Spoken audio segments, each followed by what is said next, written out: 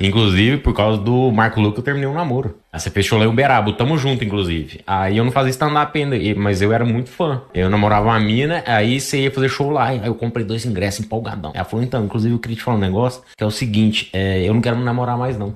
Fiquei com dois ingressos, aí eu falei, eu vou vender o outro ingresso. E a menina que comprou era sobrinha de uma, uma ex-patroa minha, que eu trabalhava numa agência. Ela comprou de mim, e olha como é que o mundo dá voltas. Eu fui no show, essa menina sentou do meu lado, a gente começou a trocar ideia, e ela também me deu um fora. Olha como é que é.